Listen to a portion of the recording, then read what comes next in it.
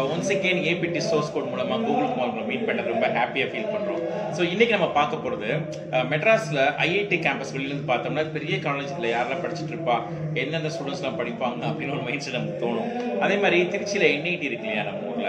அந்த என்ஐடி திருச்சியில தமிழ்நாட்டில் இருக்கிற நம்ம என்ஐடி பார்க்கும்போது இங்க எந்தெந்த ஸ்டூடெண்ட்ஸ் படிப்பாங்க? ஃபுல்லாக நார்த் இந்தியன்ஸ் தான் படிப்பாங்களோ அப்படிங்கிற எண்ணம் வர அளவுக்கு நம்ம சமுதாயத்தில் அதை கொஞ்சம் வேறுபடுத்தி பார்க்குற மாதிரி சூழ்நிலை தான் இருக்குமோ அப்படிங்கிற ஒரு எண்ணம் இருக்குது ஆனா நம்ம அந்த ஐஐடி அண்ட் என்ஐடியில் நம்ம ஜாயின் பண்றதுக்கு என்ன ப்ரொசீஜர் அப்படிங்கிற இந்த வீடியோல பார்க்குறோம். அதை படிக்க அதுல எத்தனை நம்பர் ஆஃப் சீட்ஸ் இருக்குங்கிறத பார்க்குறோம். அதுக்கு என்ன எலிஜிபிலிட்டிங்கிறத பார்க்குறோம். அது எப்போ டெஸ்ட் எழுதலாங்கிறத நம்ம இந்த வீடியோவில் பார்க்க போறோம். ரைட் குட் ஸோ அப்போ இது எழுதுறதுக்கான மெயின் எக்ஸாமினேஷன் பேர் ஜேஇஇ ஜாயிண்ட் என்ட்ரன்ட் எக்ஸாமினேஷன் அதுதான் அந்த எக்ஸாமுடைய பேர். இது டூ தௌசண்ட் எயிட்டீன் இப்படிக்கே சிபிஎஸ்சி கண்டக்ட் பண்ணாங்க.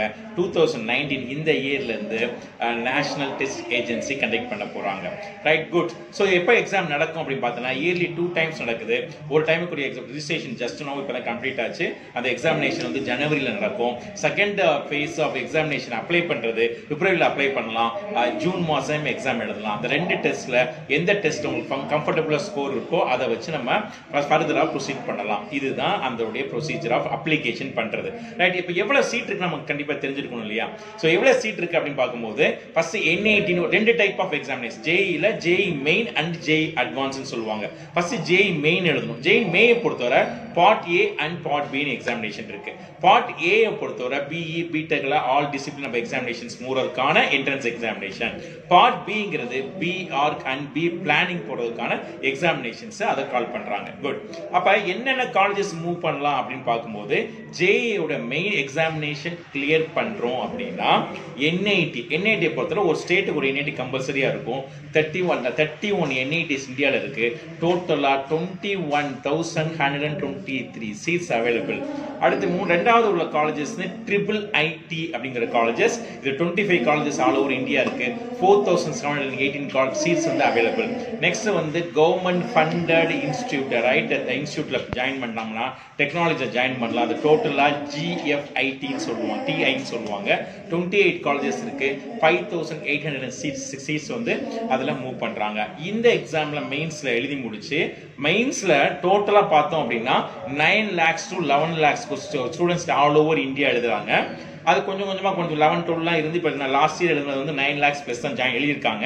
அதில் பார்த்தீங்கன்னா பாய்ஸ் வந்து செவன்டி ஒன் பர்சன்டேஜ் கேர்ள்ஸ் ஒரு டுவெண்ட்டி நைன் பர்சன்டேஜ் ஸ்டூடெண்ட்ஸ் எழுதியிருக்காங்க பார்ட் ஏவை பொறுத்தவரை பார்ட் பியை பொறுத்தவரை டோட்டலாக பார்த்தோமா அப்படின்னா ஒரு one point five lakh students வந்து எக்ஸாம் எழுதியிருக்காங்க.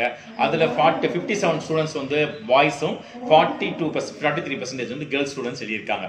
ரைட் இந்த எக்ஸாமினேஷனில் எழுதுறவங்கலேருந்து two lakh forty five thousand star top ranking இருப்பாங்களே category wise OC MBC SC ST uh, இருப்பாங்களா அதில் கால் பண்ணி நெக்ஸ்ட் அட்வான்ஸ் எக்ஸாமினேஷன்ஸ் எழுதுவாங்க ரைட் இந்த மெயின் எக்ஸாமினுடைய கொஷின் பேட்டர்ன் என்ன அப்படின்னு பார்த்தோம்னா இது முடிக்க இருந்தது அப்படின்னு பார்த்தோம்னா thirty questions physics thirty questions chemistry thirty questions biology இருந்துச்சு. இந்த வருஷத்துலேருந்து twenty five from physics twenty five from chemistry twenty five from the mathematics ஆனால் அந்த டுவெண்ட்டி ஃபைவ்ல டுவெண்ட்டி கொஸ்டின்ஸ் வந்து அப்ஜெக்டிவ் டைப் ஃபோர் கொஸ்டின்ஸ் இருக்கும் ஃபோர் ஆப்ஷன்ஸ் இருக்கும். ஒரு கொஸ்டினுக்கு ரைட் ஆப்ஷன் செக் பண்ணும் ரைட் ஆனால் ஃபோர் மார்க்ஸ் ராங் ஆனால் மைனஸ் ஒன் மார்க் ஆனால் எனக்கு லாஸ்ட் இருக்க ஃபைவ் கொஸ்டின்ஸ் நியூமரிக் கொஸ்டின்ஸ் சொல்கிறாங்க நியூமரிக் கொஸ்டின் அப்படின்னா ஒரு கொஸ்டின் வந்து ஆன்சர் வந்து மீட்டர்ஸில் தான் வரும் சொல்லிடுவாங்க. நீங்கள் கால்குலேட் பண்ணுறீங்க ஒரு ஃபைவ் ஃபிஃப்டி ஃபைவ் இருக்குது ஆன்சர் அப்படின்னா அந்த கீபோர்டில் ஃபைவ் ஃபைவ் ஃபைவ் நியூமரிக்காக மட்டும் நம்மளால் டைப் பண்ண முடியும். அது ரைட் ஆன்சராக இருந்துச்சுன்னா ஃபோர் மார்க்ஸ் ராங் ஆன்சராக இருந்துச்சுன்னா no negative mark for the five five questions அப்போ அதே டைம் டூரேஷன் தான் twenty five twenty five twenty ஃபைவ்க்கு எக்ஸாம்ஸ் கண்டக்ட் பண்ணுறாங்க செவன்ட்டி ஃபைவ் கொஸ்டின்ஸ்க்கு இது பார்ட் ஏக்கு பார்ட் பி எடுத்துட்டோம் அப்படின்னா டுவெண்ட்டி ஃபைவ் கொஸ்டின்ஸ் வந்து மேத்தமெட்டிக்ஸில் twenty from the objective type five from the numeric side and ஆப்டிடியூடை பொறுத்தவரை 50 aptitude questions 25 வந்து we can say as a டிராயிங்காக ரெண்டு கொஸ்டின்ஸ் கொடுக்குறாங்க. So twenty five questions max fifty questions aptitude two questions for the drawing அப்படின்னு சொல்றாங்க. இதே இது B planning போடும்போது இது பி ஆர்க்கு பி பிளானிங் போகும்போது twenty five questions max fifty questions வந்து aptitude and twenty five questions planning ஓரியன்டாக கொஸ்டின்ஸ் கேட்குறாங்க ஸோ டிராயிங் பொறுத்தவரை ஏ ஃபோர் ஷீட்டில் ட்ரா பண்ணுவாங்க ஸ்கேன் பண்ணி அப்படியே அப்லோட் பண்ணிக்குவாங்க.